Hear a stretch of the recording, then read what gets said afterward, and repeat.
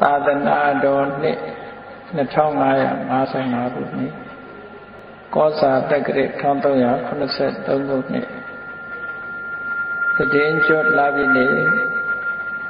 2011ခုနှစ်အောက်တိုဘာလ12ရက်နေ့မန္တလေးတိုင်းဒေသကြီးပြည်ချင်းတကုံမြို့နယ်ရှစ်ရက်ွက်စေရတုရွှေစင်သိန်းဓမ္မဗိမာန်တော်အတွင်း ကိဝတ်စံပေတော်မူသည့်အေးချမ်းအောင်မြင်မြတ်ဘုရှင်မြတ်စွာဘုရား၏ဗုဒ္ဓပူဇဏီယဝဲတော်အောင်ဝဲအဖြစ်ဖြင့်ဆင်းကျင်းပပြုလုပ်အပ်သည့်ဓမ္မတပင်အခမ်းအနားဝဲမန္တလေးမြို့26ဘရင်နောင်လမ်းပွဲကုန်းပဲကုန်းလမ်းမတန်းနေရွှေစင်သိန်းပွဲရုံစေရုရွှေစင်သိန်းဓမ္မဗိမာန်လူရှင် ကွယ်လွန်သူဥသိမ်းမောင်အာရှိစု၏တော်တော်တန်တာသွေမြေမိသားစုတို့ယမတဒါနဓမ္မဒါနအဖြစ်ဖြင့်ဟောကြားအပ်တော်ပုဗ္ဗန္နတုတ်အနှစ်ချုပ်တရားဒေသနာတော်ဒီကနေ့ညဓမ္မသဘင်ခန္ဓာကိုရှင်းဖုံးတော်တဲ့ခင်ရှင်တော်ဘုရား၏မဟာကရုဏာကုံကိုအာယုပြုပါတိကျူဖွဲ့ဆိုအပ်တော် ဝန္ဒနာပနာမအတိတဂါထာကိုရွတ်ဆိုပူဇော်ခြင်းဖြင့်စတင်ကြရအောင်ယောကပကောတိဟိပိအပမေယံကာလံကရောတောတိတုကရာတိခေရံကတောလောကဟိတယာနာထောနမောမဟာကာရုဏိကတတတ္တာ ယောနာထောဝိနိယညာစွာတတ္တဝါဤချမ်းသာစီးပွားလူလာတောင်းတအကုန်ပေါင်းခါသဖြင့်နာထအညီညာခြင်းရှင်တော်မြတ်ဖရာသည်ကပ္ပကောတိဟိပိဂရေကဘာအရေးအတွက်တင်ချတို့ဖြင့်တော်လဲအဘယ်မေယံရည်တတိုင်းတာဖော်ပြခြင်းငါမစွမ်းနိုင်ပါသော ကာလလေးအသင်ချေသိနေကဘာရှိကြသောကာလပတ်တော်လောကဟိတယတတလောကဤအကျိုးစီးပွားအလို့ငါအတိဒုက္ခရာနိဥ္စာသက်ချေလက်အင်္ဂါမေတ္တာကြီးမာသမိတာလည်းတထာဇနိစဉ္ကြီးဟုကျတိထဝေငါတဲ့အစုအလွန်ခဲရင်တော်မူရောကို ကရွန်တော်ဖရာဖြစ်ရန်ဤတန်ကြိုးကုတ်အာထုတ်တော်မူရသည်ဖြစ်၍ခေရန်လက်ချေမျက်လုံးအသက်ဆုံးလည်းနှလုံးစေဝံကိုရောဤပင်မညင်းတို့ကတောဘဝတဏ္ဏချိန်ခါများစွာရောက်တော်မူခဲ့ရရှာလိမ့်မည်မဟာကရုဏီကတ္တတတဝါများယင်ဝေသားကဲ့သို့တနာဖြစ်ခင်မဟာကရုဏာအရှင်ဖြစ်တော်မူသော တသနာတသဝိနည်းများစွာတတဝါဤချမ်းသာစီးပွားလိုလားတောင်းတအကုန်ပေါင်းခသဖြင့်နာထမြညာထိုရှင်တော်မြတ်ဖရာအားနမောယုတိပြောင်းပြော့မှန်ကိုလျော်၍ကရောယုကျိုးရှိခိုးခြင်းသည်အထုဘဝတုစင်စစ်မသွေဖြစ်ပါစေတည်း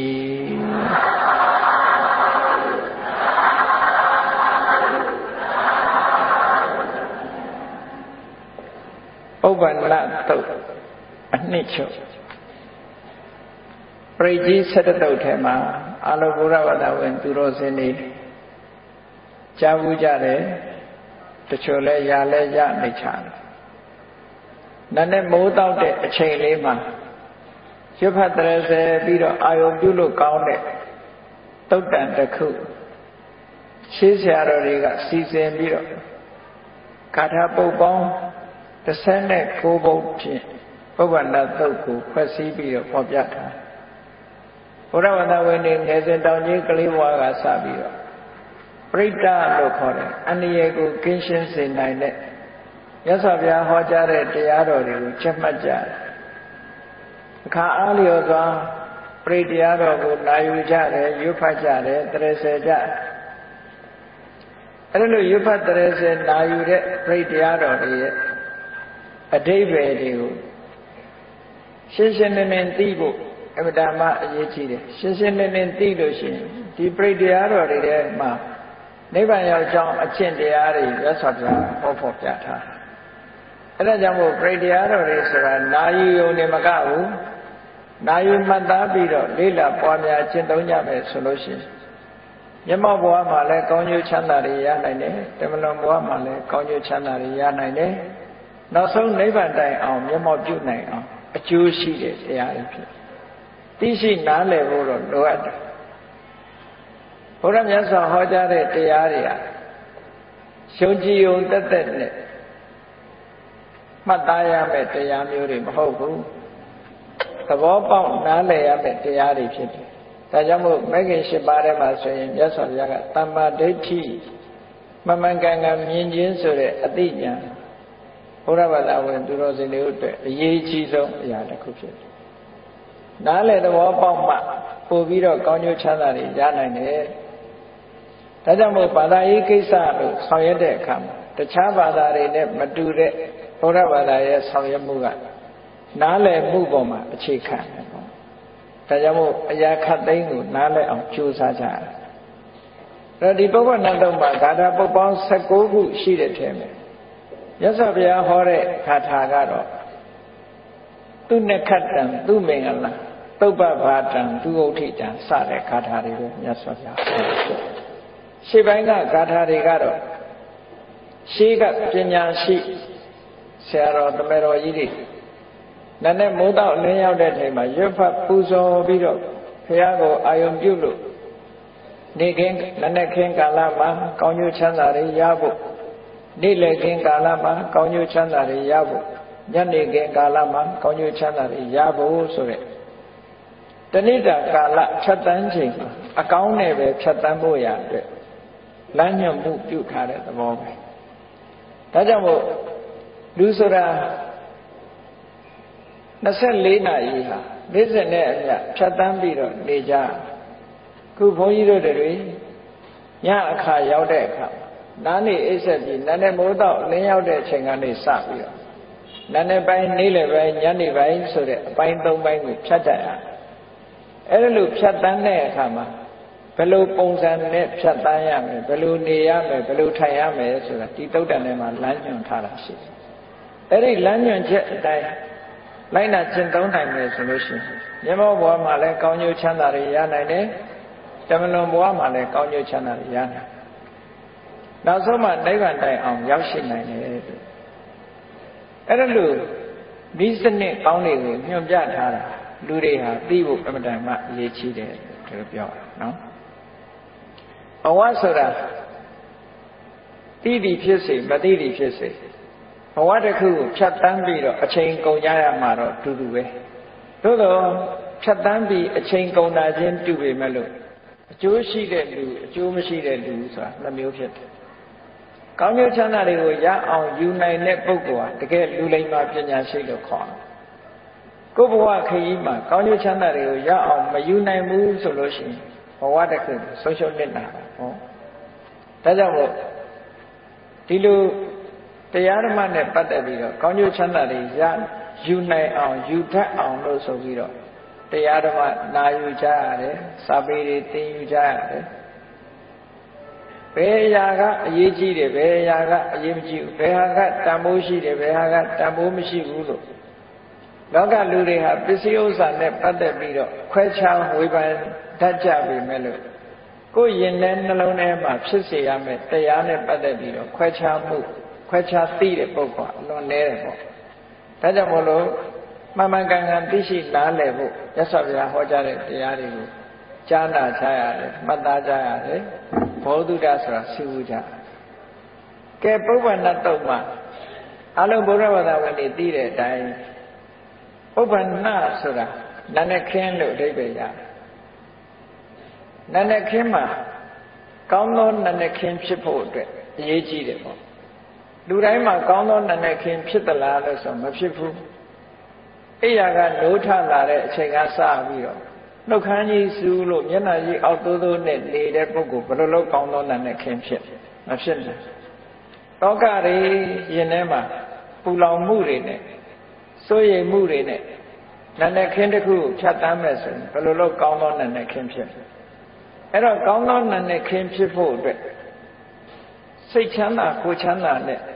ကိုယ်ရင်နဲ့နှလုံးထဲမှာအပြစ်ကင်းတဲ့သဘာဝတရားတွေဖြစ်အောင်လုပ်နိုင်မှကောင်းသောနာနဲ့ခင်းဆိုတာဖြစ်တယ်ဟောလူတွေဆိုတာမနဲ့မိုးလင်းလာလို့ရှိရင်နံပါတ်1မလုပ်မယ်ဆိုတာတွေးကြတယ်အာယုန်တစ်ခုပေါ်မှာတွေးကြတယ်စိတ်အလုံးလုံးတွေးပြီးရင်မလုပ်လဲပြောကြပြောပြီးရင်မလုပ်လဲကိုထိလက်ရောက်လောက်ခံကြဟော ပထမစိတ်ကူးတယ်ဒုတိယနှုတ်ကထုတ်ပြောတယ်တတိယကအလုံးလုံးတယ်ပြောလို့တာကကာယကံဝစီကံမနောကံဆိုတဲ့ထဲမှာမနောကံဆိုတာစတင်ပြီးတော့ဖြစ်လာမနောကံဖြစ်ပြီးရင်ဝစီကံဖြစ်တယ်ဝစီကံဖြစ်ပြီးမနောကာယကံဖြစ်တယ်လို့ကာယကံဝစီကံမနောကံလို့ဆိုတဲ့ဒီကံသုံးပါးနဲ့လှုပ်ရှားဆောင်ရွက်မှုတွေအတွက်ကိုယ့်အတွက်ကောင်းကျိုးချမ်းသာကိုရစေနိုင်တဲ့အလုပ်တွေဖြစ်ပါမှကောင်းသောနာနဲ့ခင်ဖြစ်မယ် အဲ့ဒါလို့မဟုတ်ဘဲနဲ့နာနဲ့ခင်ဖြတ်သားတဲ့အခါမှာမကောင်းတဲ့စိတ်တွေမကောင်းတဲ့အတွေးတွေမကောင်းတဲ့အပြောတွေမကောင်းတဲ့အလုပ်တွေနဲ့ဖြတ်တန်းသွားပြီဆိုရင်ဒီနတ်လက်ခင်းဟာအယုတ်ဆိုးအကြီးတန်းပြီးကိုယ့်အတွက်အကျိုးမဲ့ဖြစ်စေနိုင်တဲ့နတ်လက်ခင်းကြီးဖြစ်သွားတာပေါ့အဲ့ဒါလိုပဲနေလက်ခင်းတို့ညနေခင်းတို့ဆိုတာလဲကောင်းသောနေလက်ခင်းကောင်းသောညနေခင်းဖြစ်ဖို့လိုအပ်တယ်ပေါ့ နိုင်ငံသားတွေနောက်တိုင်းကလူတွေကနော်ဗမာတွေကတော့ဘယ်လိုသတ်မှတ်ပြီးတော့ပြောတာမရှိဘူးနောက်တိုင်းကလူတွေကတူနဲ့တူမိတ်ဆွေတွေမနေ့ပိုင်းမှတွေ့လို့ရှိရင်နှုတ်ဆက်ကြတယ် good morning လို့နှုတ်ဆက်တယ်ကောင်းသောနာနဲ့ခင်ပါတကယ်ကောင်းသောနာနဲ့ခင်ဖြစ်ဖို့ရအတွက်ဤစနစ်ကိုတော့မြတ်စွာဘုရားကဟောထားဘယ်လိုမှကောင်းသောနာနဲ့ခင်ဖြစ်တယ်အဲ့ဒီမှာတကယ်ကိုကောင်းတဲ့နာနဲ့ခင်ဖြစ်ဖို့အတွက် အခုဒီပုဗ္ဗနာတုတ်ထဲမှာလာတဲ့ကျင့်စဉ်တွေကိုကျင့်ဖို့စတင်ကြတဲ့ကနည်းနည်းမိုးတော့အလင်းရောက်လို့အိယာကလိုးထလာတဲ့အချိန်လူတွေဟာအိတ်ဆက်နားနေတဲ့အချိန်မှာဘာတွေဖြစ်တတ်တုံးလို့ဆိုအိမ်မက်မက်တတ်တယ်အဲ့ဒါလို့အိမ်မက်မက်တဲ့အခါမှာကောင်းတဲ့အိမ်မက်ရှိတယ်လို့မကောင်းတဲ့အိမ်မက်တွေလည်းရှိတတ်တယ် အဲ့ဒါလို့အိမ်မက်နဲ့ပတ်သက်ပြီးတော့အကောင်းအဆိုးဆိုတာဘာကိုပြောတာတော့လို့ဆိုအိမ်မက်ထဲမှာကြောက်စရာလန့်စရာကိုမဖြစ်ချင်တဲ့အရာတွေဖြစ်ရတယ်လို့အိမ်မက်ထဲမှာမဲ့လို့ရှိရင်ဒါမကောင်းတဲ့အိမ်မက်တွေဒီလိုသတ်မှတ်ကြတာကောင်းတဲ့အိမ်မက်ဆိုတာကောင်းတဲ့အာယုန်တွေကိုမြင်ပြီးတော့မဲ့တဲ့အိမ်မက်မျိုးကောင်းတဲ့အိမ်မက်အဲတချို့အိမ်မက်ဆိုတဲ့နေရာမှာတချို့အိမ်မက်တွေကအကျိုးသက်ရောက်မှုဖြစ်ပေါ်စေတယ်တချို့အိမ်မက်တွေကအကျိုးသက်ရောက်မှုကိုမဖြစ်စေဘူး အိမ်မက်တိုင်းဟာကောင်းကျိုးဆိုးကျိုးဖန်တီးတာမဟုတ်ဘူးကောင်းကျိုးဆိုးကျိုးဖန်တီးနိုင်တဲ့အိမ်မက်ဆိုတာရှိတယ်ပေါ့ပုဗ္ဗနမိတ်အနေနဲ့မက်ထာမျိုးတွေအဲ့ဒီလိုပုဗ္ဗနမိတ်အနေနဲ့မက်ထာမျိုးကြရင်ကောင်းကျိုးဆိုးကျိုးတွေလာတတ်တယ်အဲ့လိုလာတဲ့အခါမှာလူတွေဟာဘာလုပ်ကြတော့ပေရဆရာစီသွားပြီးရရခြေတာတို့ဘာလို့လုပ်တယ်အဲ့ဒီလိုလုံမဲ့အစာရသော်ဘုရားက ဒီပုဗ္ဗနာတော့မှာနီလန်းပေးထားတာလေးကိုမှတ်သားထားဖို့လိုအပ်တယ်ကိုယ်ရင်တဲ့နှလုံးထဲကကောင်းပြီဆိုလို့ရှိရင်ရှင်တဲ့နှလုံးထဲကတန့်တန့်စင်ပြီးတော့ကောင်းတဲ့အတွေးတွေရှိလာပြီကောင်းတဲ့စိတ်ဓာတ်တွေကိန်းဝလာပြီဆိုလို့ရှိရင်အဲ့ဒီကောင်းတဲ့အတွေးတွေကောင်းတဲ့ကုသိုလ်စိတ်ဓာတ်တွေကမကောင်းမှုတွေကိုဖယ်ရှားနိုင်ပါတယ်ဖယ်ရှားနိုင်တဲ့စွမ်းအားရှိတယ်ဆိုတာယုံကြည်ရမယ်အဲ့ဒါကြောင့်မို့လို့ လူတွေမှာကြုံတွေ့တတ်တာတွေရှိတယ်တခါတလေကျတော့ဟိုအတိတ်နမိတ်မကောင်းဘူးလို့ဒီလိုပြောလေးရှိကြတယ်ပေါ့နော်အဲတခါတလေကျတော့မင်္ဂလာမရှိဘူးလို့မင်္ဂလာမရှိတာတွေ့ရတယ်လို့လောကလည်းမင်္ဂလာလို့သတ်မှတ်တာတွေကဘုရားကသတ်မှတ်တာပေးတာမဟုတ်ဘူးမြတ်စွာဘုရားသတ်မှတ်တဲ့38ဖြာမင်္ဂလာဆိုတာကောင်းတဲ့အလုပ်တွေနဲ့ပတ်သက်တာတွေကြီးပဲ လောကလူတွေကမင်္ဂလာဆိုတာပြည့်ညတ်သွားရဓာတ်သက်တာဆိုပြီးတော့ဥပမာခုခေတ်ဆိုလို့ရှိရင်ပိုးများလာကြာပန်းကိုခရားလူရင်ကြံ့ကြတယ်တို့နော်ဒီပန်းသီးကိုလူရင်ပန်းနယ်တို့ဒီလိုဟာမျိုးတွေကလူတွေမှာတွေးတောလာတာမျိုးတွေရှိတယ်။ညံ့ညံ့အောင်ကျင်တဲ့အခါကျတော့နေချင်းညာချင်းချင်းကိုဘုရားဆုတယ်နော်။အော်ချမ်းမင်ဆိုင်တယ်တဲ့အကျံအောင်ကျင်လို့ ဒါတွေကလောကီမင်္ဂလာလို့ခေါ်တယ်ကောင်းကျိုးချမ်းသာကိုပေးနိုင်တဲ့အနေအထားမရှိဘူးလူတွေကစိတ်ဖြေတာပဲရှိတယ်တကယ်ကောင်းကျိုးချမ်းသာပေးနိုင်တာကိုယ်ရင်နဲ့နှလုံးထဲမှာရှိတယ်သဘာဝတရားကောင်းကျိုးချမ်းသာပေးနိုင်အဲ့ဒါကြောင့်မို့တကယ်ပေးနိုင်တာမဟုတ်ပေမဲ့လို့လူတွေကယုံကြည်ကြတာပဲလောကလူသားတွေကမြန်မာလူမျိုးတွေကြီးယုံကြည်တာမဟုတ်ဘူးတခြားလူမျိုးတွေလည်းပဲဒီလိုလောကမှာရှိတဲ့မင်္ဂလာတွေကိုယုံ ဘုရားဘာသာလုပ်ပြီးတော့အဲ့ဒီလိုမင်္ဂလာတွေကိုယုံကြည်တယ်ဆိုလို့ရှိရင်မြတ်စွာဘုရားကဘုရားဘာသာအညံ့စားလို့သတ်မှတ်တယ်ဥပဒကဆိုရင်အညံ့စားဥပဒကဥပတိကမဆိုရင်လည်းအညံ့စားဥပတိကမမင်္ဂလံပစ္စေတိလောကံမင်္ဂလာကိုယုံကြည်တယ်မင်္ဂလာဆိုတာလောကီမင်္ဂလာကိုပြောတာကြားတာမင်္ဂလာနော်ကောင်းတာကြားရင်မင်္ဂလာရှိတယ်ကောင်းတာမြင်မင်္ဂလာရှိတယ် ကောင်းတဲ့အနံ့ရရင်မင်္ဂလာရှိတယ်လို့ဒီလိုအမြင်ကြားတွေနဲ့ပတ်သက်တဲ့မင်္ဂလာတွေကိုဆွဲလန်းလို့ရှိရင်အဲ့ဒီပုဂ္ဂိုလ်ဟာကံတရားကိုမယုံကြည်ရရောက်တော့ပေါ့အဲ့ဒါကြောင့်မို့ဘုရားဘာသာအစစ်ကကိုလှုပ်တဲ့ကံကိုယ်တဏ္ဍာမှာဖြစ်တဲ့စိတ်ထဲမှာဖြစ်ပေါ်လာတဲ့ကံတရားနှုတ်ကထုတ်ပြောတဲ့ကံတရားကိုယ်ဒီလျောက်လှုပ်တဲ့ကံတရားအဲ့ဒီကံတရားကိုသာလက်ခံယုံကြည်ဖို့လိုအပ်တယ်အပေါ်ယံအပြောဆိုလေးတွေနဲ့ မင်္ဂလာရှိတယ်မင်္ဂလာမရှိဘူးဆိုတာမျိုးတွေကမယုံကြည်ရဘူးလို့ဒါကြောင့်မို့အဲ့ဒီမင်္ဂလာမရှိဘူးလို့ထင်တဲ့ကိစ္စတွေလောကမှာဖြစ်ပေါ်လာလို့ရှိရင်အဲ့ဒါတွေပပျောက်သွားအောင်မှန်ကန်တဲ့ဤစနစ်နဲ့အခုဒီပုဗ္ဗနာတုံမှာညွှန်ကြားပြီးတော့ပြတာရှိဟောနောက်တစ်ခါတခါတည်းမြန်မာလူမျိုးတွေကငှက်ကိုငှက်ဆိုးလို့သတ်မှတ်တာ နားထဲမှာစူးစူးညံညံစူးစူးဝါးဝါអော်တဲ့ငှက်တွေကိုငှက်ဆိုးနော်အဲ့ဒါလို့ငှက်ဆိုးတယ်နေကြားရလည်းပဲအတိတ်တမေမကောင်းဘူးလို့လူတွေကယူဆတာဒါတဝုနဲ့တူယူဆမှုမတူကြဘူးပေါ့တချို့ကငှက်ဆိုတာသူကသူអော်ခြင်းអော်တာပဲလေမြန်မာလူမျိုးတွေကသာချိအိမ်မော်လင်းနာနားတယ်ဆိုရင်ဗမာလူမျိုးတွေတော်တော်ကြောက်ကြ အိန္ဒိယနိုင်ငံသွားကြည့်တိုက်ပေါ်မှာလက္ခဏာကြီးတွေနားနေဘာမှခီးမဆိုင်ဘူးသူတို့နော်ကရပြေသွားကြည့်ရင်တိုက်တွေပေါ်မှာလင်းနာကြီးတွေနားနေပြီးတော့ဗမာလူမျိုးတွေကယူဆသေးတယ်ဖွတ်တဲ့ရင်မွဲတယ်တဲ့ဘုန်းကြီးတို့တီဟိုနေတုန်းကဘုန်းကြီးတို့နေတဲ့အဲ့ဒီအိမ်မှာဘုန်းကြီးကြောင်းဖြစ်ဝါတဲ့ကပ္ပထန်ပြဖို့သွားနေတဲ့အချိန်ဖွတ်ကြီးတကောင်ကညညဆိုရင်အဲ့ဒီအမိုးပေါ်တဲ့အိတ်ထအမြဲတမ်းပဲ မနေ့ကျရင်အဲ့ပေါ်ကဆင်းလာတယ်လူလည်းမကြောက်ဘူးဘယ်သူကမှလည်းသူ့အနေရမပေးဘူးဖွတ်တယ်လို့မွဲလို့ရှိရင်အဲ့ဒီအိမ်မွဲမှာပေါ့မမွဲဘူးချမ်းသာလိုက်တာမှလွန်တာနော်သူတို့စီမှာဖွတ်တယ်လို့မွဲတယ်ဆိုတဲ့အယူဆလည်းမရှိဘူးလကနာလို့ဒုက္ခရောက်တယ်ဆိုတဲ့အယူဆလည်းမရှိဘူးအဲ့ဒါကြောင့်မို့လို့ဒါတွေက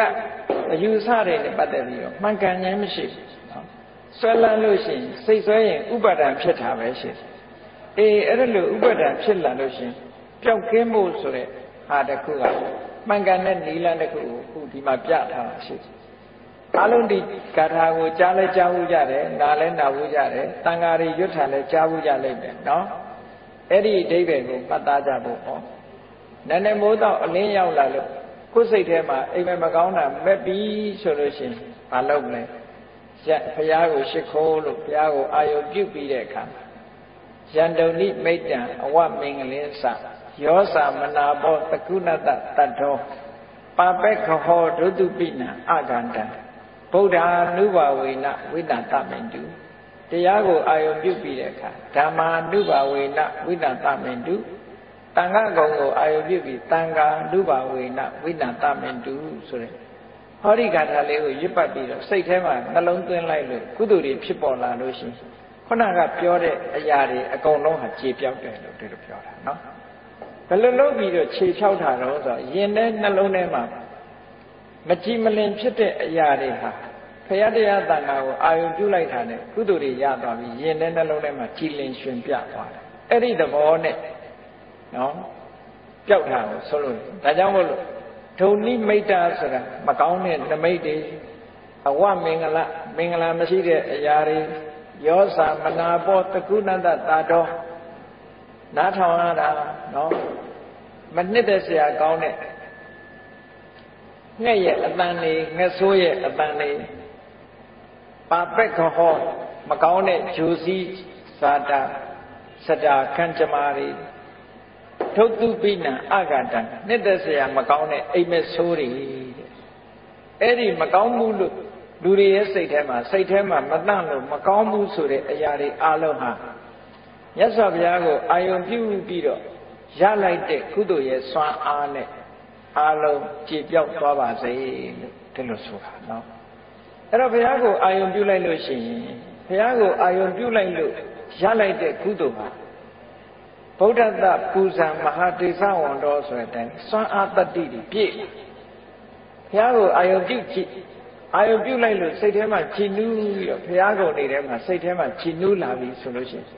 အဲ့ဒီကုသိုလ်ဟာအခုပြောခဲ့တဲ့မကောင်းတဲ့အရာတွေကိုယ်အလိုမရှိတဲ့အရာတွေကိုယ်တဏ္ဍာမှာမဖြစ်အောင်ကာဝယ်ဆောက်ရှောက်ပြီးသားဖြစ်ပါတယ်မှန်ကန်တဲ့နီလန်းနဲ့ပြောတာနော်ဒီတိုင်းလုပ်လို့ရှိရင်ဆိုလိုတာကရရကြည်ပြီးသားဖြစ်တယ်လို့ဒီလိုပြောတာနော် အဲ့တော့ရရခြေတယ်ရရခြေတယ်နဲ့သူတွေကညာတော့အဖြစ်ဘုရားဘာသာတွေဗေဒင်ဆရာဟာရရခြေခိုင်းလေဖယားနဲ့ပတ်သက်တာတွေပြောရရခြေတယ်ဆိုတဲ့လုပ်ငန်းကဗမာလူမျိုးတွေသာလုပ်တာမဟုတ်ဘူးတခြားနိုင်ငံတွေမှာလည်းပဲရှိတယ်ကိုယုံကြည်အောင်လုပ်ကြဥပမာမဲ့ဆိုပါစို့ထမင်းစားနေတော့ဇပွဲမှာထိုင်းနေရင်ကနေပြီးတော့အဲစားဘူးလေးကိုဒီဘက်ပေးလိုက်စမ်းပါလို့ စားဘူးလေးကမ်းလိုက်စမ်းပါလို့မမီလို့လှမ်းတောင်းတယ်တစ်ဖက်ကအဲ့ဒါလှမ်းတောင်းတာကိုပေးလိုက်တဲ့အချိန်မှာစားလေးဖိတ်သွားလို့ရှိရင်ဒါကံမကောင်းမှုလို့ယူဆနော်ကံမကောင်းမှုလို့ယူဆအဲ့ဒါကိုဘလို့ရေရရာခြေရတော့ဆိုစားလေးကိုအနည်းငယ်ယူပြီးတော့ပခုံးကိုကြော်ပြီးတော့ဟိုဘက်ကိုလှမ်းပြီးတော့ပက်လိုက်ရတယ်တဲ့အဲ့လိုပက်လိုက်လို့ရှိရင်ရေရရာခြေတယ်တဲ့တဘာဝကြံပြကိုယ့်ကိုစဉ်းစားကြည့်တယ် စားဖိတ်တဲ့အပြင်နောက်ထပ်ပြန်ပြီးတော့ပက်တော့စားကုန်တာပဲရှင်မှာပေါ့အဲအခုကအဲ့လိုမျိုးမဟုတ်ဘူးနော်ဘုရားကိုအာယုပြုလိုက်တယ်ဘုရားရှိခိုးလိုက်တယ်ဘုရားရှိခိုးလိုက်ရင်စိတ်ထဲမှာကြည်နူးတယ်ဝမ်းသာတယ်ကုသိုလ်တွေရအဲ့ဒီရတဲ့ကုသိုလ်ရဲ့စွမ်းအားနဲ့ခုနစိတ်ထဲမှာမကြည်မလင်ဖြစ်နေတာအိမ်မက်ဆိုးတွေလို့ကံမကောင်းမှုလို့ဂျိုးမကောင်းမှုလို့ဆိုတာတွေဟာပျောက်မသွားဘူးလားပျောက်သွားနိုင်တယ်ဒါကြောင့်မို့ဘေးရင်ဆရာတော်မေးစရာမလိုဘူး။ တန်တဲ့မိုးတော့အလင်းရောက်တဲ့အချိန်လေးမှာဘုရားကိုအာယုပြုပြီးတော့ဒီကာထာလေးနဲ့နှလုံးသွင်းပြီးရွတ်ဆိုလိုက်မယ်ဆိုလို့ရှိရင်ကောင်းကျိုးချမ်းသာတွေရနိုင်ပါတယ်လို့ဟောဒီသုံးကာထာနဲ့ဒီလိုအဓိပ္ပာယ်ရှိတယ်နော်ဒုံနိမိတ်တာဆိုမကောင်းတဲ့နမိတ်တွေအဝမင်္ဂလာဆိုမင်္ဂလာမရှိတဲ့အရာတွေရောစာမနာဘောတကုဏတတတော်ဆိုညနိုးစရာနှစ်သက်စရာမကောင်းတဲ့ငှက်ဆိုးရဲ့အတန်တွေပါပက်ခဟောဂျူဆူ ဂျိုဆိုးတွေတုတ်တုပိနံအဂတံစိတ်ထဲမှာမကြည်မလင်ဖြစ်စေတတ်တဲ့မကောင်းတဲ့အိမ်မက်ဆိုးတွေဟာမြတ်စွာဘုရားကိုအာယုံပြုပြီးတော့ဖြစ်ပေါ်လာတဲ့ကုသိုလ်ရဲ့စွမ်းအားနဲ့ပျောက်ကွယ်သွားပါတယ်လို့ဒီလိုပြောတာနော်။ဩအဲ့ဒီနောက်ကြည့်ဒါကနီးတစ်ခုပြောတာဒီတနည်းနဲ့လည်းပဲကောင်းတဲ့နတ်နဲ့ခင်းတစ်ခုဖြစ်ပေါ်လာစေတိုင်းပဲပေါ့ဘု ရားကိုအာယုပြုခြင်းဖြင့်ကုသိုလ်တွေရလာတဲ့အတွက်ကြောင့်ကိုယ့်အတွက်မှဒါကောင်းသောနတ်နဲ့ခင်းမယ်အဲ့ရထားလိုက်တာနဲ့ကောင်းသောနတ်နဲ့ခင်းဒီလိုဖြစ်သွားတယ်လို့ဒီလိုဆိုလိုတာဟောတဏိတာလုံးမှာတဏိတာလုံးမှာအလုပ်တွေလုပ်ရမယ်အိမ်ပြင်ထွက်ရမယ်လုပ်ငန်းကင်တာတွေတွားရမယ်လုပ်ရမယ်လုပ်ရမယ်သွားတဲ့အခါကျတော့အန္တရာယ်ဆိုတာချုပ်တတ်တယ် accident accident နဲ့ပြောကြတယ် မမျော်လင့်ပဲနဲ့ဖြစ်တာကို accident လို့ခေါ်တာပဲအဲ့တော့အန္တရာယ်ဆိုတာတွေကိုခြုံတတ်တော့ဒီအန္တရာယ်တွေမကြုံကြရအောင်ဘာလို့ဖို့လိုအပ်တယ်လဲဆိုတာမှန်ကန်တဲ့ဤတစ်ခုနဲ့အန္တရာယ်တွေကိုမကြုံမှုအရာအတွက်ဟောဒီဒုတိယတတိယမြောက်သရုတ်ထမြောက်ခါထာလေးကဗာပြောတော့ဆိုတပ္ပိဗုဒ္ဓပလပတ္တပိစိကနိသယံပလံ အရဟန္တာနိသတေစေနရက္ခံပန္နာမိသဗ္ဗသောရက္ခဆိုတာအဆောင်အရှောက်အကာအကွယ်တစ်ခုလုပ်လိုက်တယ်အေးဒါကြောင့်မို့လို့ပြောကြတယ်ခရီးသွားလို့ရှိရင်တန်ဖို့တွေရွတ်သွားတယ်ဆိုတန်ဖို့တွေဆိုတာဘုရားရှိခိုးတာပဲဘုရားကိုအာယုံပြုပြီးတော့ရှိခိုးတာဒါလည်းဘုရားကိုအာရုံပြုလိုက်တဲ့ချင်းကိုယ်စိတ်ထဲမှာကုသိုလ်တွေဖြစ်သွားတယ်အဲ့ဒီကုသိုလ်ကကာဝယ်ဆောင်ရှောက်တယ်လို့ဆိုလိုတာကုသိုလ်ရအောင်လုပ်ဖို့တော့လိုအပ်တယ်ပေါ့ ဘုရားကိုအာရုံပြုဖို့လိုအပ်တယ်အခုကြည့်ဒီကာထာလေးရဲ့အဓိပ္ပာယ်ကဘလောက်ကောင်းလို့ဆိုရက္ခံဗန္နာမိသဗ္ဗသောအရက်ခတ်သိမ်းကနေပြီးတော့ကိုယ့်အတွက်အကာအကွယ်ဖြစ်အောင်အဆောင်ရှောက်ကိုလုပ်ပါတယ်တဲ့။ဘာနဲ့အဆောင်ရှောက်ကိုလုပ်တာလို့ဆိုတော့တပ္ပိဗုဒ္ဓဗလပ္ပတ္တဖရာတွေဆိုတာစွမ်းအားအမတမကြီးတယ်ကာယဗလညာနာဗလဆိုတာလို့စွမ်းအားကြီးတယ်ဖရာမှန်တယ်များစွမ်းအားတွေအမတန်ကြီးတယ် အဲ့ဒီဖရာတွေရဲ့စွမ်းအားကိုအသုံးပြုပြီးတော့ဟုတ်လားအန္တရာယ်ခင်းမှုကိုစောင့်ရှောက်မှုကာကွယ်မှုကိုစီမံပါတယ်လို့ဒီလိုပြောတာဆိုလိုတာကမြတ်စွာဘုရားရဲ့ခုံကိုချီးကျူးလိုက်တာပဲတပ္ပိဗုဒ္ဓဗလပတ္တာဆိုဘုရားရှင်တွေအားလုံးဟာကာယဗလညာနာဗလဆိုတဲ့စွမ်းအားတွေကိုရရှိထားတာဖြစ်ပါတယ်အဲ့ဒီဘုရားရဲ့စွမ်းအားတွေနဲ့ကျွန်ုပ်အကာအကွယ်လုပ်ပါတယ် ဒါလည်းအမြဲတမ်းမှန်ကန်တဲ့ဤစနစ်နဲ့လုပ်တာဖြစ်တယ်ပေါ့နော်ပိစိကံနင်းစယံပလံဖရာတွေမှာကဘူးပိစိကဘုရားရှင်မြတ်တွေလည်းစွမ်းအားတွေရှိတယ်အဲ့ဒီစွမ်းအားတွေနဲ့ကာကွယ်လုပ်ပါအရဟန္တာနင်းစသေစေတယဟန္တာပုဂ္ဂိုလ်ရဲ့အရှိန်ဝါတွေလည်းရှိတယ်အဲ့ဒီအရှိန်ဝါတွေကိုသုံးချပြီးတော့ဟုတ်လားကိုယ့်အတွက်အကာအကွယ်ဖြစ်စေပါတယ်လို့ဒီလိုပြောတာအဲ့တော့ ဖះကိုချီးမွမ်းပြီးတော့ဖះရဲ့စွမ်းအားတွေရင်ထဲရောက်အောင်လုပ်တယ်တရားရဲ့စွမ်းအားဒီပိစိကဗုဒ္ဓရဲ့စွမ်းအားတွေရင်ထဲရောက်အောင်လုပ်တယ်ယန္တာပုဂ္ဂိုလ်မြတ်တွေရဲ့စွမ်းအားဒါအာယုပြုဖို့တော့လိုအပ်တယ်ပေါ့နော်လောကမှာပွင့်သွားတဲ့ဘုရားတွေအများကြီးရှိတယ်အဲ့ဒီပွင့်သွားတဲ့ဘုရားတွေကိုစိတ်ထဲကအာယုပြုလိုက်ပြုပြီးတော့အဲ့ဒီဘုရားတွေအားလုံးဟာစွမ်းအားကြီးမားတော်မူကြတယ်တခါပိစိကဗုဒ္ဓတွေပွင့်သွားကြတာလဲတာမဟုတ်ဘူး အဲ့ဒီပိစိကဗုဒ္ဓတွေရဲ့စွမ်းအားလည်းမနမကြီးမားတယ်လောကမှာယဟန္တာပုဂ္ဂိုလ်တွေဆိုတာရှိတယ်ယဟန္တာပုဂ္ဂိုလ်တွေမှာလည်းစွမ်းအားအမတန်မှကြီးတယ်အဲ့ဒီအရှင်မြတ်တွေရဲ့စွမ်းအားဟာကျွန်ုပ်တို့အဆောင်ရှောက်ဖြစ်ပါစေဒါအမတန်ကောင်းတဲ့အဓိပ္ပာယ်ဘုရားတရားတန်ခါကိုကိုကတတိယပြီးတော့စောင့်ရှောက်လုပ်တဲ့အဓိပ္ပာယ်မျိုးဖြစ်တယ်ပေါ့အဲ့တော့နန္ဒခေမှာအိမ်ပြင်ထွက်အလုံးလုံးခီးသွားအလုံးလုံးတဲ့အခါမှာ ဒီလိုအကာအကွယ်စောင့်ရှောက်ကလေးနဲ့လှုပ်သွားဖို့အတွက်ပုဗ္ဗန္နတုတ်ထဲမှာဒါကိုလည်းထည့်သွင်းပြီးတော့ရေးသားထားကြဒါကနံပါတ်၄ကထာနောက်တစ်ခါနံပါတ်5နံပါတ်6နံပါတ်9အဲ့ဒီဂါထာသုံးပုဒ်ကယရဏတုတ်မှာပါပြီးတာတစ္ဆာဆိုတာလောကမှာတစ္ဆာဟာအစွမ်းတကူအမတ္တမထက်တယ် လူတွေကတစ္ဆာဆိုတာအမတ္တမနဲကြတကယ်ကိုယ့်အကိုတစ္ဆာဆိုပြီးတော့ကိုလိုချင်တဲ့အရာတစ်ခုကိုတောင်းလို့ရှိရင်တစ္ဆာရဲ့စွမ်းအားဟာရှိတယ်မယုံရင်တော့လုပ်ကြည့်ပေါ့နော်တခါတည်းနဲ့တော့ရကြမှာရမှာပေါ့ဘာဖြစ်လို့လဲဆိုတော့သစ္စာစကားဆိုတာမှန်ကန်မှုလဲလိုအပ်တယ်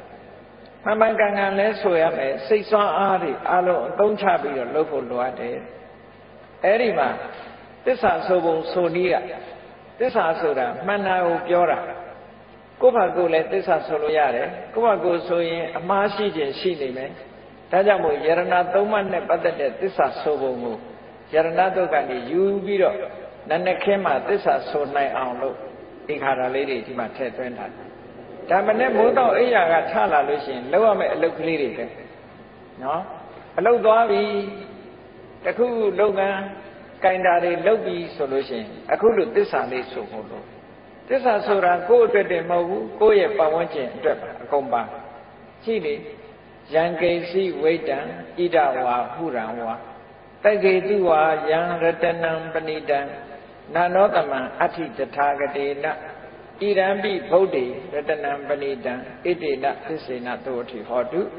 ဣဒံပိဓမ္မေရတနံပဏိတံဣတိနသစ္စေနသောတိဟောတု ဣဒံပိတံငေရတနံပဏိတံဣတိနသစ္စေနသောတိဟောတုဖရာတရားတန်ခါနဲ့ပတ်သက်ပြီးရ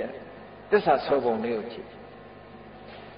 ဗမာလိုအဓိပ္ပာယ်ကလည်းရှင်းရှင်းပဲယံကိစီဝိတံဣဒဝါဟူရံဝါတက်ခေတုဝယံရတနံပဏိတံဒီလိုဆိုလို့အဲ့တော့ယံကိစီဝိတံလောကမှာနှစ်သက်စရာကောင်းလာတဲ့ပစ္စည်းဥစ္စာတွေ ဒီလူပြေမှာရှိတဲ့ဟာရောတခြားလောကမှာရှိတဲ့အရာတွေရောနော်နတ်ပြည်တွေမှာရှိတဲ့အရာတွေရောလောကမှာယရနာတွေဟာကဘာမှာရှိတယ်ယံကိစီဆိုရှိသမျှယရနာတွေအားလုံးအနှစ်သာရယရနာတွေအားလုံးနန္ဒောတမအဋ္ဌိတထကတိနာမြတ်စွာဘုရားဆိုတဲ့ယရနာနဲ့တူတဲ့ယရနာလောကမှာမရှိပါဘူးလူတွေပိုင်ဆိုင်ကြတဲ့ စိတ်ပဲဖြစ်ဖြစ်ရွှေပဲဖြစ်ဖြစ်ငွေပဲဖြစ်ဖြစ်နော်ကြောက်တံပရမများတွေပဲဖြစ်ဖြစ်အဲ့ဒီယရနာတွေမြောင်များစွာရှိတယ်ကဘာမှာရှိတဲ့ဒီယရနာတွေရဲ့တန်ဖိုးဟာမြတ်စွာဘုရားတည်းဟူသောယရနာကိုမမှီပါဘူးလို့ဒီလိုဆိုလိုတာအဲ့ဒါဟာမှန်ကန်သောစကားတစ်ခုဖြစ်တယ်နာနောတမံအဋ္ဌိတထာဂတိနာဣဒံပိဗုဒ္ဓေရတနာလောကမှာရှိတဲ့ယရနာတွေတဲ့ပို့ပြီးတော့ထူးမြတ်တဲ့ယရနာနှစ်သက်စရာကောင်းတဲ့ သီလသမာဓိပညာဆိုတဲ့ဒီထူးခြားတဲ့တန်ဖိုးရှိလာတဲ့တရားတွေမြတ်စွာဘုရားတဏ္ဍာမှာရှိတယ်တရားမှာရှိတယ်တန်ခါမှာရှိတယ်အဲ့ဒီမှန်သောစကားကိုဆိုရတော့ကြောင့်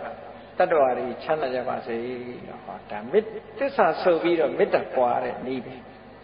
အဲ့တော့နည်းနည်းမိုးတော့လေးရောက်တဲ့အခါကျတော့ကိုယ့်အတွက်တမကဘူးအများတတ္တဝါတွေအတွက်ပါသစ္စာဆိုပြီးတော့မေတ္တာပွားတာအလွန်ကောင်းတဲ့အလုပ်တစ်ခုပဲပေါ့နော် အဲ့တော့အလွန်ကောင်းတဲ့တစ်ခုကမှန်မှန်ကန်ကန်လှုပ်သွားမယ်ဆိုလို့ရှိရင်ကောင်းကျိုးချမ်းသာတွေရလာဒါနည်းနည်းပိုင်းမှာဒီလိုလှုပ်ဖို့အတွက်ရှေးဆရာတော်ကြီးတွေက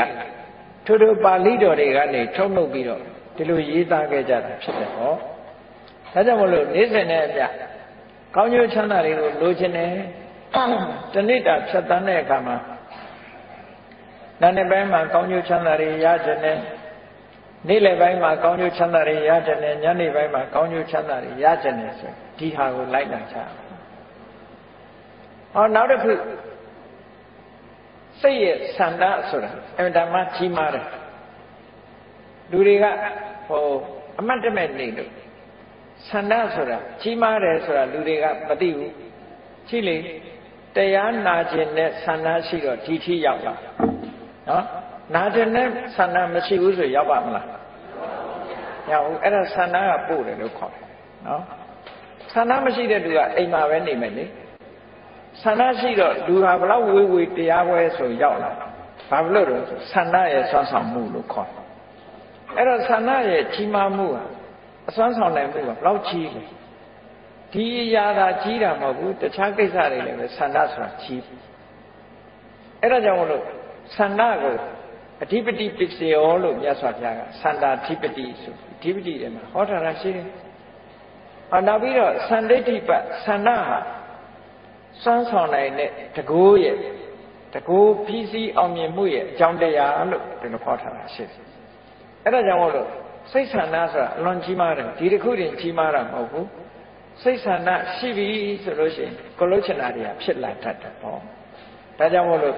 ဆန္ဒပြုတဲ့အနေနဲ့မလုပ်ရမလဲလို့ဆိုခါထာလေးသမုတ်ကိုတစ်ခါပြထားတယ်ဘဝတုတပ္ပမင်္ဂလံရခန္တုတပ္ပဒေဝတာတပ္ပဗုဒ္ဓနုဘဝေနသရတုခိဘွန်တုတေကြည့်ဆန္ဒပြုတာကိုကိုကိုနည်းနည်းမိုးတော့အလင်းရောက်လို့အိယာကထလိုက်ရင်ဆန္ဒပြုလိုက်ဘယ်လိုဆန္ဒပြုဘဝတုတပ္ပမင်္ဂလံ မင်္ဂလာအပေါင်းနဲ့ခန့်မြောင်းပြည့်စုံပါစေကောင်းမြတ်တဲ့မင်္ဂလာတွေကျွန်ုပ်တဏ္ဍာမှာဖြစ်ပါစေအများတ attva တွေမှာလည်းပဲဖြစ်ပါစေဘလောက်ကောင်းတဲ့ဆန္ဒလဲနော်သူများကိုနှိပ်စက်ဖို့ပါလားဒီထဲမှာအလွန်မမြတ်တဲ့စိတ်ဓာတ်လို့ခေါ်တယ်နော်မင်္ဂလာနဲ့ပြည့်စုံပါစေရခန္တုသဗ္ဗဒေဝတာနတ်တွေကအလုံးကိုဆောင်းလျှောက်ပါစေဒါလည်းကောင်းတဲ့ဆန္ဒပဲသူစောင့်တာမစောင့်တာကိုယ်နဲ့မဆိုင်ဘူး ကိုကစောင့်ပါစေလို့ဒီလိုပြောတာဟုတ်ကဲ့လားဒါကိုပြောမယ်ဆိုရင်နတ်အာကိုတာလားလို့ဆိုမဟုတ်ဘူးနတ်အာကိုလို့ပြောတာမဟုတ်ဘူးနတ်တွေကလည်းလောကကိုဆောင်းလျှောက်တာတွေရှိတယ်ပေါ့အဲ့ဒါလို့ဆောင်းလျှောက်တာတွေရှိလို့နတ်တွေကအမှတ်တမဲ့မနေပဲနဲ့ဆောင်းလျှောက်ကြပါစေနတ်ကသာဆောင်းလျှောက်တာလားဆိုလူလူချင်းရောမဆောင်းလျှောက်ဘူးလားဆောင်းလျှောက်တယ်လေအိမ်သားမှာလူတွေမှာသွားတာအိမ်ကိုကြည့်လိုက်စမ်းပါလို့ဆိုကြည့်မပေးဘူးလား ဆိုင်လေးကြည့်လိုက်စမ်းပါဆိုဒါဆောင်းလျှောက်ပေးတယ်လို့ခေါ်တာပဲအကြောင်းကိစ္စရှိလို့ရှင်တရင်ပို့ပေးတယ်ဟောဒါဆောင်းလျှောက်တယ်လို့ခေါ်တာပဲအဲ့တော့လူလူချင်းနဲ့မေတ္တာရှိရင်စောင့်တာမေတ္တာမရှိရင်ဒီတိုင်းကြည့်နေမှာပဲဩနတ်တွေကိုလည်းပဲကိုကမေတ္တာရှိအောင်မေတ္တာပွားပြီးတော့ထားရင်နတ်တွေရဲ့ဆောင်းလျှောက်မှုရောမခံရဘူးလားဒါကလောကရဲ့သဘာဝပဲနော်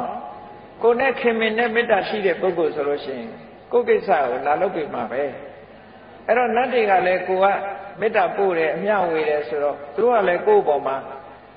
ခင်မင်ကြတယ်ခင်မင်တော့စောင့်ရှောက်ပါသေးဆိုတော့လူတွေမသိလိုက်တဲ့ကိစ္စကိုနတ်ကနေချိန်နေစောင့်ရှောက်ပေးလိုက်တယ်ပေါ့ဒါမျိုးဆိုလိုတာနော်ကြည့်ပါလားဒီပကံရာဇဝင်ကိုကြည့်မယ်ဆိုလို့ရှိရင်ကျန်စစ်မင်းကျန်စစ်သားအနောယထာကနေပြီးတော့ ဖမ်းဆီးမလို့လိုက်တဲ့အခါမှာသူပြေးရပြေးတဲ့အခါမှာမြစ်ထဲမှာဖြတ်ပြီးတော့ကူးတဲ့အခါကျတော့တငါလေတစည်းကနေပြီးတော့ဟိုဘက်ကန်းကိုပုတ်ပေးတယ်ဟာအဲ့ဒါဟာနတ်ကကူညီတာတဲ့တကယ်နတ်ကတငါလေအောင်ဆောင်ပြီးတော့သူ့ကိုကယ်တင်သွားတာနောက်ဆုံးကျတော့နတ်ကမဟာဂီရိနတ်လို့ဆိုတယ်သူနဲ့ဆူတောင်းဘက်အတိတ်ဘဝတော့ကသူနဲ့တူတူဖြစ်ခဲ့တဲ့မိတ်ဆွေ သူကနေပြီးတော့ကူညီတယ်လို့သူတို့ပြောတာအဲ့တော့လောကမှာလည်းတစ်ခါတစ်ခါကူညီမှုတွေရှိတယ်အဲ့တော့ကူညီတယ်ဆိုတာနတ်ကြီးကအချွန်တက်နဲ့ဆင်းလာပြီးဒီလိုကူတာမဟုတ်ဘူးအဲ့ဒါလို့ဆိုရင်လည်းလူကကြောက်ပြီးတော့ပြေးမှာလေနတ်မြင်လူကမကြောက်ဘူးမထင်နဲ့ကြောက်ပြီးပြေးမှာပဲအဲ့ဒါကြောင့်မလို့နတ်မြင်တဲ့အခါကျတော့လူတွေဟာကြောက်လာမှာဆိုတော့နတ်တွေကလည်းလူတွေကိုကူညီတဲ့အခါမှာ လူတယောက်ယောင်ပဲဆောင်ပြီးတော့ကူညီတာပါဒီလိုဆိုတာနော်ကိုကနေဘူးထဲမှာရက်ပြီးတော့ကားဆောင်နေတယ်ဘာစကားကမလာနိုင်ဘူးသွားချင်နေတယ်သို့တော့အနန္တဖြတ်သွားတဲ့ကားတစ်စီးကလူကြုံလို့တင်သွားတယ်ဆိုတာတွေရောမကြုံတတ်ဘူးလားအေးနတ်ကမတယ်ဆိုတာတခါတည်းအဲ့ဒါမျိုးလို့ပြောတာနော်ကိုသွားခြင်းတဲ့ကိစ္စတခုကိုလုံးချင်တာလေးတခုဟာတခါတလေရှော့ရှော့ဆူယူနဲ့ကုညီပဲလူနဲ့ သိသည်ဖြစ်စေမသိသည်ဖြစ်စေကိုကုညီသွားတဲ့လူတွေနဲ့ကြုံတတ်တယ်ကော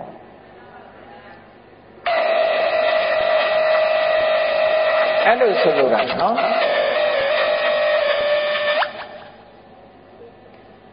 အဲ့ဒါကြောင့်မလို့ရက္ခန္တုသဗ္ဗဒေဝတာ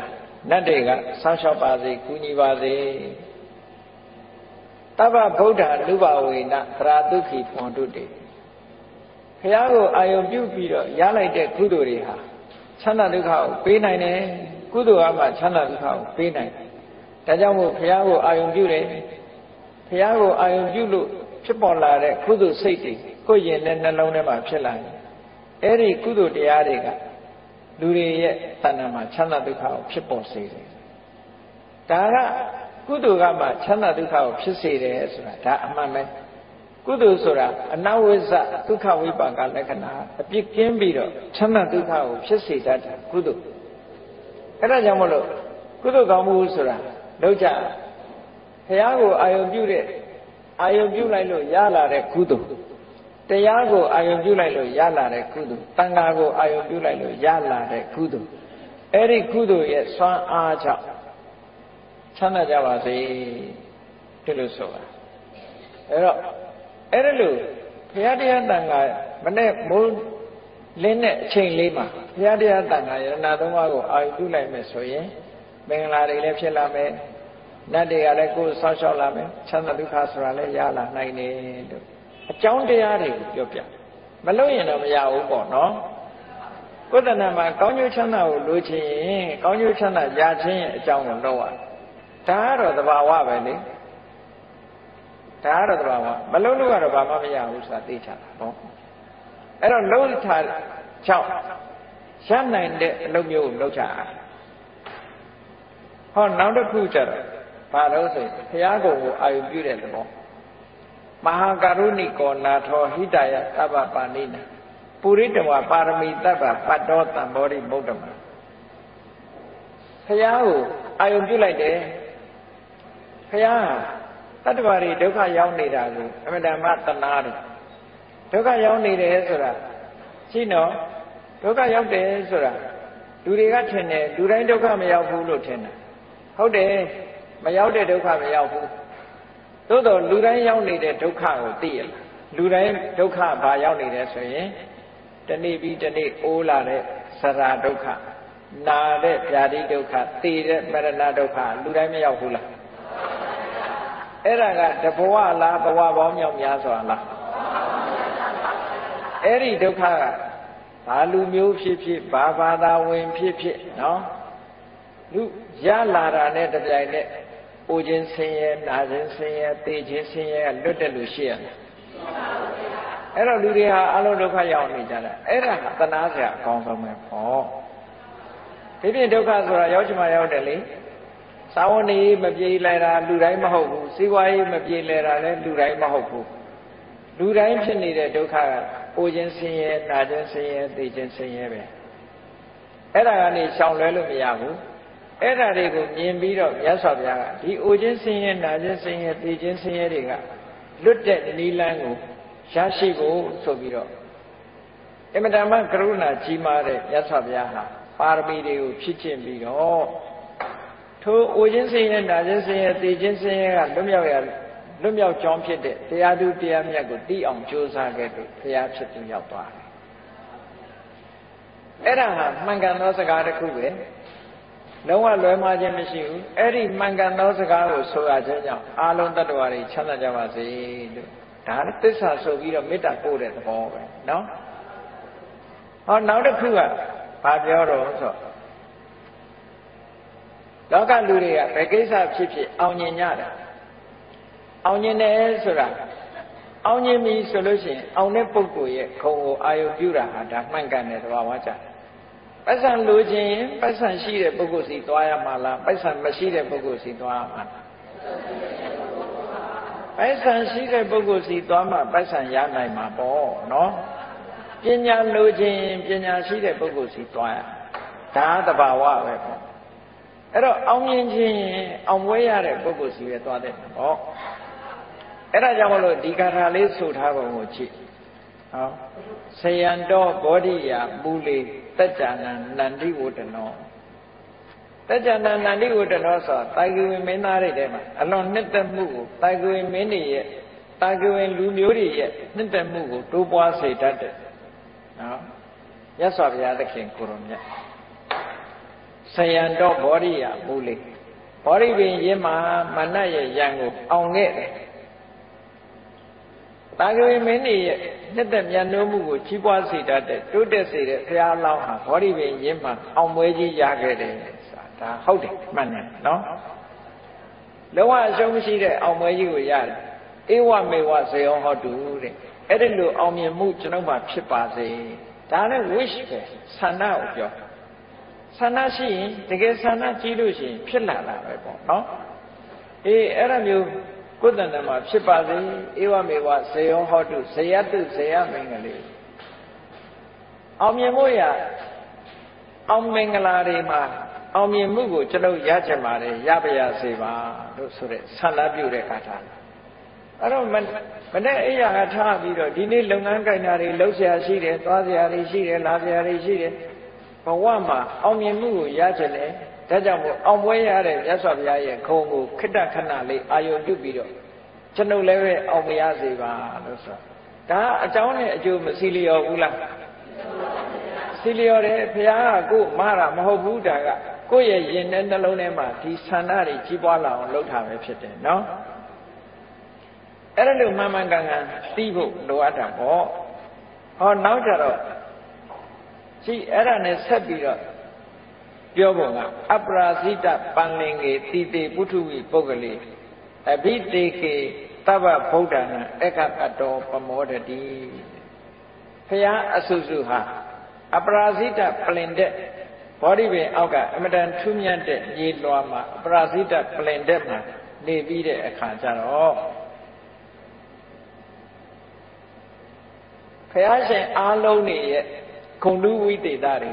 ရရှိတော်မူခဲ့ကြတယ်ရရှိသည့်အတွက်ကြောင့်လောကမှာအမျက်ဆုံးဖြစ်လို့ဝမ်းသာကြည်နူးမှုကြုံရတယ်ကျွန်ုပ်လည်းပဲအဲ့ဒါလို့အကောင်းဆုံးအညွန့်ဆုံးအမျက်ဆုံးကိုရပြီးဝမ်းသာကြည်နူးရစေဒီလိုဆိုလိုတာနော်အေးအဲ့ဒါကြောင့်မလို့ဒီဖျားကိုအာယုံပြုပြီးတော့ဝမ်းမြောက်ဖွယ်ဖြစ်တဲ့ရင်နဲ့နှလုံးထဲမှာကြည်နူးဖွယ်ရာတွေကိုဒီလိုအာယုံပြုတာဟာ ဒါကရှေ့ပိုင်းကထည့်သွင်းပြီးတော့နာနေပိုင်းမှာဆင်ញင်စဉ်းစားဖို့ဆင်ញင်စဉ်းစားဖို့ပြောတယ်အဲ့တော့ကောင်းသောနာနဲ့ခင်းဖြစ်ဖို့ကောင်းသောနက္ခတ်နဲ့ကြုံဖို့ဆိုတာဟာနက္ခတ်ဆိုတာကောင်းကင်ကနက္ခတ်တွေကိုကြည့်ပြီးဗေဒင်ဆရာတွေကတော့တွက်ကြလိုက်တယ်ပေါ့နော်ဒီကနေ့လက်ခတ်ကောင်းတယ်သို့မဟုတ်ရက်ကောင်းတယ်ရက်မကောင်းမှုနဲ့ပြောကြတယ်လေ ဒီနေ့ကပြတ်တရားကြီးဒီနေ့ကရက်ရစာနဲ့ဆိုပြီးတော့ရက်ကောင်းတယ်မကောင်းဘူးရွေးချတယ်မဟုတ်လားခဏအထိဗုဒ္ဓဘာသာတွေရွေးတော့ပဲရက်ရွေးတာတော့နော်အစွဲလန်းဘလောက်ကြီးတယ်ဆိုတာကြည့်မြတ်စွာဘုရားကဟောထားတာရက်ရွေးခိုင်းတာမဟုတ်ဘူးရက်မရွေးခိုင်းဘူးမြတ်စွာဘုရားကဘာဟောလဲလို့ဆိုရင်သူနဲ့ခတ်တံသူမင်္ဂလာသုပ္ပဘာတံသူဟုတ်ထိတံဒုက္ခနောသူမို့တော်စာသူရိဋ္ဌံဗြဟ္မစာရိတု ဘယ်နေ့ပဲဖြစ်ဖြစ်လက်ရသာပဲဖြစ်ဖြစ်ပြတ္တရာပဲဖြစ်ဖြစ်ဘယ်နေ့ပဲဖြစ်ဖြစ်ဘယ်နှက်ခတ်နဲ့ပဲရှင်းရှင်းနော်ကောင်းတဲ့အလုပ်တွေလုပ်လို့ရှိရင်ကောင်းတဲ့နှက်ခတ်လို့မှတ်ပါဒါပြောတာနော်မကောင်းတာလုပ်ရင်မကောင်းတဲ့နှက်ခတ်မနဲ့အိယာထားပြီးဒေါသထွက်နေပဲဆိုရင်အဲ့ဒါနှက်ခတ်ဆိုးနေပြီလို့သာမှတ်ပြပါနော်မနဲ့အိယာထားပြီးတော့မေတ္တာပို့ပြီးတော့ဘုရားကိုအာရုံပြုစိတ်ကြည်နူးနေရင်ဒါကောင်းသောနှက်ခတ်ပဲ ကောင်းသောနှက်ခတ်ဖြစ်တယ်ဒီလိုဆိုလို့တာကောင်းငင်ကနှက်ခတ်ဆိုတာကိုယ်နဲ့မဆိုင်ဘူးတဲ့950ဇတ်ထဲမှာလည်းအတိလင်းဆိုထားတာရှိတယ်နက္ခတံပฏิမာနင်တံအထောပါလံဥပိစ္ဆကာတချို့ကအေးဒီနေ့နက္ခမကောင်းသေးဘူးဒီလနက္ခမကောင်းသေးဘူးနက္ခမကောင်းလို့ဘာမှမလုံးနဲ့အောင်ဒီတိုင်းနေမလုံးနဲ့အောင်မလုံးနဲ့အောင်ဆိုင်းရင်ဆိုင်းရင်နဲ့ဒီပြင်လူတယောက်ကဥပြီးတော့ရသွားတယ်ကိုမလုံးလိုက်ရ ဒီလိုဟာမျိုးတွေခြုံတတ်တယ်ပေါ့နော်ကိုကနက္ခမကောင်းသေးလို့ဆိုမလုံးတယ်ဇန်တဲ့လူကနေပြီးတော့လှုပ်သွားဟောကိုမရလိုက်ဘူးအဲ့တော့ဖះလောင်းတွေကဗာပြောတယ်နက္ခတံပฏิမာနင်တံအထောပါလံဥပိ္ပစကနက္ခကောင်းတဲ့အချိန်ကိုမျောလင့်နေတဲ့လူမိုက်ကိုတဲ့အကျိုးတရားတွေကအကျိုးတရားတွေကိုလက်လွတ်ဆုံးရှုံးသွားစေတယ် အထောအထတနက္ခတံကောင်းကျိုးချမ်းသာကိုလိုချင်တဲ့ဟာအရာဖို့ရအရေးကြီးဆုံးပဲတဲ့အဲ့ဒါဟာကောင်းတဲ့နက္ခတ်ပဲကိုလိုချင်တာရတာကောင်းတဲ့နက္ခတ်ပဲကိန်းကရိတန်တိတာရကကောင်းငင်ဘောကကျယ်တွေကကိုဘာတတ်နိုင်မှလဲဒီလိုဆိုထားတာနော်အဲ့ဒါကြောင့်မလို့ပုဗ္ဗန္နတုတ်မှာမြတ်စွာဘုရားဟောထားတဲ့အတိလင်းနတ်နဲ့ခင်းပါတဲ့အပြစ်ကင်းတဲ့ အတွေးတွေတွေးမယ်အပြစ်ကင်းတဲ့အပြောတွေပြောမယ်အပြစ်ကင်းတဲ့အလုပ်တွေကိုလုပ်မယ်ဆိုလိုတာကနတ်နဲ့ခင်းမှာကာယတုစရိုက်ဝစီတုစရိုက်မနောတုစရိုက်ဆိုတဲ့အကျင့်တရားတွေကျင့်ကြံကြုတ်ကိုအားထုတ်မယ်ဆိုရင်အဲ့ဒီနတ်နဲ့ခင်းဟာကောင်းသောနတ်နဲ့ခင်းမှာနေ့လက်ခင်းမှာကောင်းတာပြောတယ်ကောင်းတာတွေးတယ်ကောင်းတာပြောတယ်ကောင်းတာလုပ်တယ်ဆိုလို့ရှိရင်လေကောင်းတဲ့နေ့လက်ခင်းဖြစ်ပါတယ်ညနေခင်းမှာလည်းပဲအပြစ်ကင်းတဲ့ အတွေးတွေတွေးတယ်အပြစ်ကင်းတဲ့စကားတွေပြောတယ်အပြစ်ကင်းတဲ့အလုပ်တွေလုပ်လို့ရှိရင်ကောင်းသောညနေခင်းဖြစ်ပါတယ်ဒီလိုဆိုလိုတာနော်အဲ့ဒါကြောင့်မလို့ကောင်းတာလုပ်တဲ့ပုဂ္ဂိုလ်ဖို့ဟာဘယ်တော့ဖြစ်ဖြစ်လက်ခတ်ကအကောင်းမယ်တဲ့အဆိုးမရှိဘူးသို့တော့လူတွေကအကောင်းအဆိုးဆိုတာလက်ခတ်ကိုပဲသွားရှာတယ်ကိုယ့်ရင်ထဲကဟာကိုတော့မေ့နေတယ်စဉ်းစားကြည့်ကိုယ့်အကို ကိုယ်တဏ္ဍမှာဖြစ်နေတဲ့လောဘတွေဒေါသတွေမာမနာတွေအိတ်တာတွေကိုတော့အကောင်းထင်နေကြတာနော်အဆိုးကအဲ့ဒါအပင်ငရဲချတာသူတို့ကချတာနော်ဘယ်သူကမှကိုယ်လံဆွဲမခေါ်ဘူးဆွဲခေါ်သွားတာကကိုယ်ရင်ထဲဖြစ်တဲ့လောဘဒေါသတွေဆွဲခေါ်သွားတာလေကဲကြည့်လောကမှာလူဆိုးဖြစ်တဲ့ဒီရာဇဝမှုကိုကျူးလွန်တယ်ဆိုတဲ့လူတွေဟာဘယ်သူကသူ့ကိုကျူးလွန်ခိုင်းတာတော့သူ့စိတ်ကပဲကျူးလွန်တာမဟုတ်လား သူ့တဏ္ဍာမှာဖြစ်တဲ့အကုသိုလ်တရားတွေကဒီအလုပ်တွေကိုလှုပ်စေတာခံရတော့ဘယ်သူခံရတော့သူပဲခံရတာပဲလေအဲ့ဒါကြောင့်မို့လို့ကိုယ့်ရင်ထဲမှာဖြစ်တဲ့အရာတွေဟာကိုယ်စိတ်ထဲမှာဖြစ်တဲ့မကောင်းတဲ့သဘောထားတွေအမှန်တမ်းကြောက်စရာကောင်းတယ်အပင်ငရဲဆိုတာပြင်မဲ့ကလာမချဘူးကိုကချနော်ကိုယ်ရင်ထဲမှာဖြစ်တဲ့လောဘဒေါသမောဟဆိုတဲ့ဒီတရားတွေကအပင်ကိုချတာဘ ယ်လိုလုပ်အပယ်ချတော့ဆိုကိုယ်စိတ်ထဲမှာဖြစ်ရင်ကိုယ်ပဲခံမှာလေဒီနေရာမကြည့်နဲ့ကိုယ်ရုပ်ခန္ဓာကိုယ်ကြီးမှာဖြစ်တဲ့ယောဂဝေဒနာဘယ်သူခံရတာတော့ဟုတ်တယ်လေဆေးရုံသွားစမ်းလိုက်လို့ HIV positive ဆိုရင်ဘယ်သူခံရမှာတော့စီပိုးဘီပိုး positive ဆိုလဲကိုယ်ပဲခံရမှာပဲဟုတ်တယ်မလားကိုယ်ထဲမှာဖြစ်တယ်အဲ့ဒါကြတော့လူတွေကကြောက်တယ်လေ အဲ့ဒါလူတွေကြောက်တယ်ဒီတဲ့ကြောက်စရာကောင်းတာဘာလို့ဆိုရင်ကိုယ့်ရဲ့စိတ်အစဉ်ထဲမှာ mental process တွေမှာဖြစ်နေတဲ့ positive တွေကပိုကြောက်စရာကောင်းတယ်စိတ်ထဲမှာဖြစ်နေတဲ့လောဘစိတ်ထဲမှာဖြစ်တဲ့ဒေါသစိတ်ထဲမှာဖြစ်တဲ့မောဟအိတ်တာတွေမာမနာတွေဒါတွေကပိုကြောက်စရာကောင်းတယ်ဒါတွေကသွားဆန်းလိုက်တဲ့ positive ဖြစ်နေဟုတ်ကဲ့အပင်ငယ်ရဲ့ချတာသူတို့ကချတာ HIV ကလည်းပဲအပင်ငယ်ရဲ့မချဘူးစီပိုးဘီဘွားကလည်းအပင်ငယ်ရဲ့မချဘူးရုပ်ခန္ဓာမှာဖြစ်တဲ့ယောဂဝေဒနာဆိုတာဒီဘဝတစ်ခါပဲသိမှာဘယ်သူမှနှစ်ခါသိတဲ့လူမရှိဘူးယောဂမရှိတဲ့လူရောမသိဘူးလား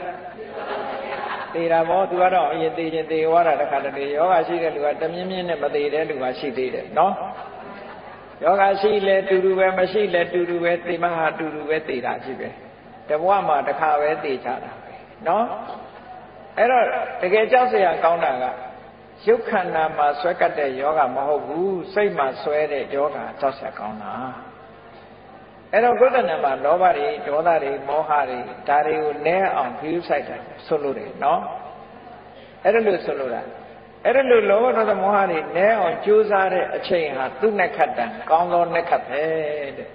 ကိုယ်သူ့မင်္ဂလာမင်္ဂလာရှိဆုံးအချိန်ပဲတဲ့အဲ့ဒီအချိန်နော် စိတ်ဆိုးနေတဲ့အချိန်ဟာမင်္ဂလာမရှိဆုံးအချိန်ပဲလို့ဒီလိုမှတ်တာစိတ်မဆိုးဘူးမေတ္တာဘာဝနာပွားနေတယ်တယောက်နဲ့တယောက်သိမြင်များများရှိနေတယ်မိတ်ဆွေပဲပြတ်ဘူးဆိုရင်ကောင်းမင်္ဂလာရှိတဲ့အချိန်တစ်ခုပဲလို့ဒီလိုမှတ်သုပ္ပခါတံဖရာတရားတန်ခါကိုအာယုံပြုပြီးတော့နိုးလာလို့ရှိရင်ကောင်းသောမိုးတောက်ခြင်းနဲ့ကောင်းသောနနက်ခင်းဖြစ်လာတယ်သူဝုဋ္ဌိတအိယာကနိုးထလာတဲ့အခါနော် နှုတ်ခမ်းကြီးစူပြီးတော့နိုးထတာမဟုတ်ဘူးအများတ attva တွေချမ်းသာကြပါစေဆိုတဲ့အတွေးလေးနဲ့နိုးထလာရင်ဒါအကောင်းဆုံးအိယာကထားခြင်းပဲဖြစ်တယ်ပေါ့အဲ့ဒါလို့နေ့စဉ်နဲ့မြကိုယ့်ဘဝမှာအကောင်းဆုံးမိုးတောက်ချိန်ဖြစ်ဖို့နဲ့အကောင်းဆုံးအိယာကထားခြင်းဖြစ်အောင်မကြိုးစားသင့်ဘူးလားကြိုးစားရမှာဒါတွေကိုဖြစ်အောင်ကြိုးစားနော်အဲ့ဒါလို့ကြိုးစားဖို့ဆိုလိုတာ ဒါတွေကဘာတဲ့အရေးကြီးတော့ဆိုရိတ်တာသွားပြီးတရားဝင်ဖို့တဲ့အရေးကြီးတယ်နေ့စဉ်လုပ်နေတဲ့အလုပ်တွေကဟုတ်ကဲ့လားကိုယ်အိမ်မှာနေထိုင်ရင်နဲ့ကောင်းသောမိုးတောက်ဖြစ်ဖို့ကောင်းသောနှက်ခတ်နဲ့ကြုံတဲ့အချိန်ပိုင်းဖြစ်ဖို့ကောင်းတဲ့မင်္ဂလာရှိတဲ့အချိန်ဖြစ်ဖို့ရာဘုဒ္ဓနာမှာ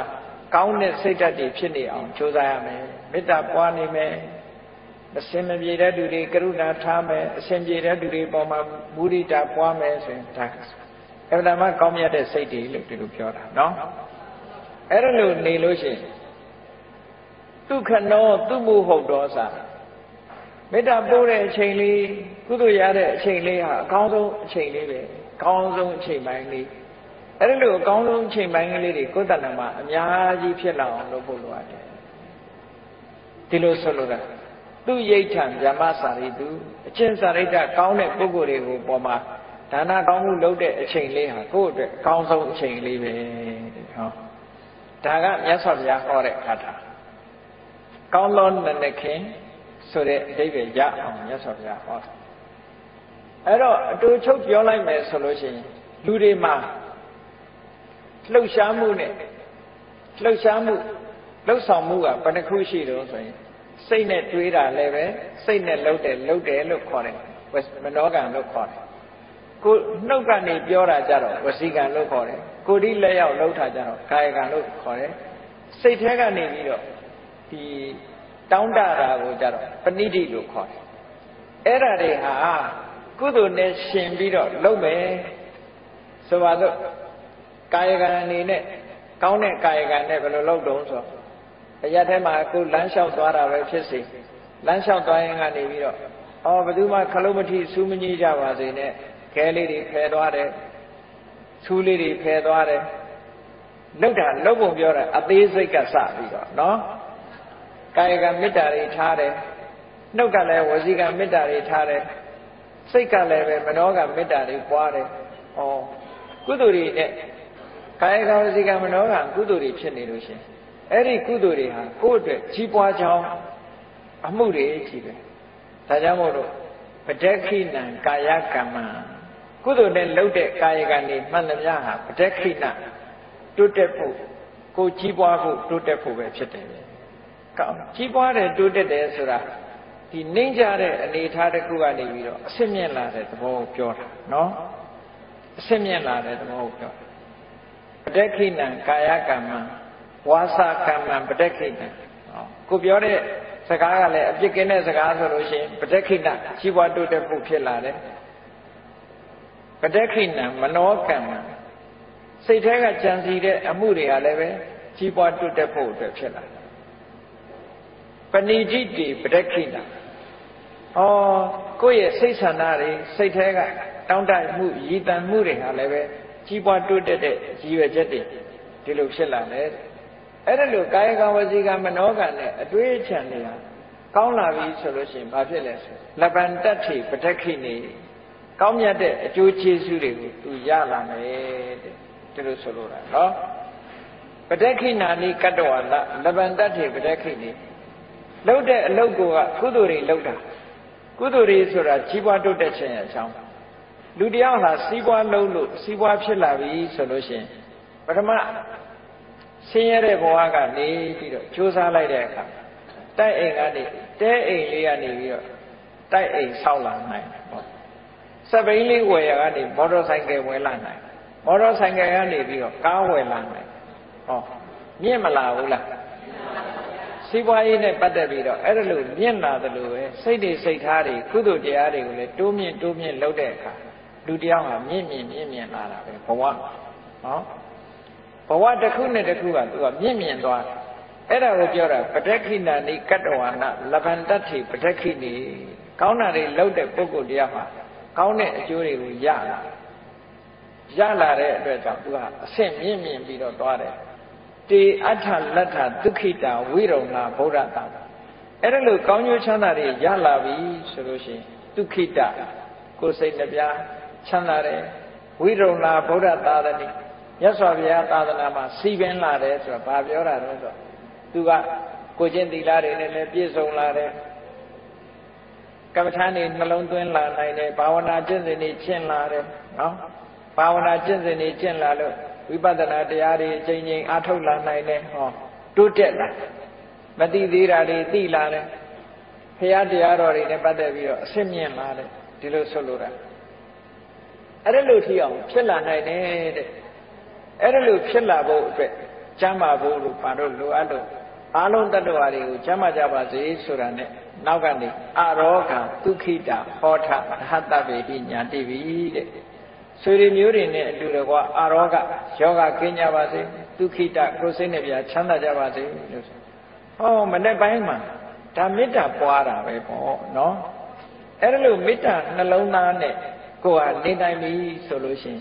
ကိုယ့်ရဲ့စိတ်ကလေးဟာအတ္တမစင်ကြဲလာစင်ကြဲလာတဲ့စိတ်ကလေးနဲ့ကုသိုလ်တွေဖြစ်လာလို့ရှိရင်ခုနကပြောခဲ့တဲ့ ကာယကံတွေဝစီကံတွေမနောကံတွေဟာ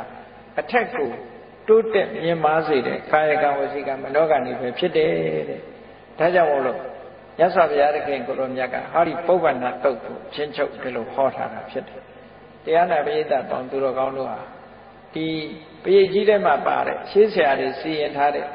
ဂါထာတွေရောမြတ်စွာဘုရားဟောထားတဲ့ဂါထာတွေရောဒီဂါထာတွေအတိုင်းနာနဲ့မိုးတော့အလင်းရောက်တဲ့အချိန်မှာဖြစ်စေ နေ့လယ်အခါမှာဖြစ်စေညနေအခါမှာဖြစ်စေဒီလမ်းစဉ်အတိုင်းจิตကြကြုတ်ကုတ်အထုတ်သွားကြမယ်ဆိုလို့ရှိရင်ကောင်းသောနနဲ့ခင်ကောင်းသောနေ့လယ်ခင်ကောင်းသောညနေခင်ဆိုတဲ့အချိန်ပိုင်းနေနဲ့ကြုံတွေ့ပြီးတော့ကောင်းသောဘဝကြီးတစ်ခုလုံးကိုဖြတ်တန်းပြီးတော့ကောင်းတဲ့ဘဝကနေပြီးတော့နောက်ဆုံးမှာတဏှာဝကလွတ်တဲ့နိဗ္ဗာန်ဆိုတဲ့ချမ်းသာဒုက္ခကိုမျက်မှောက်ပြုနိုင်ကြမှာဖြစ်တယ်လို့ကိုစီကိုစီသဘောကျပြီးတော့ပုဗ္ဗန္နတုတ်လာကျင့်စဉ်အတိုင်း မိမိဘဝတိုးတက်လာအောင်ကျင့်ကြံကြိုးကုပ်အားထုတ်တော်မူနိုင်ကြပါစေကုန်သတည်း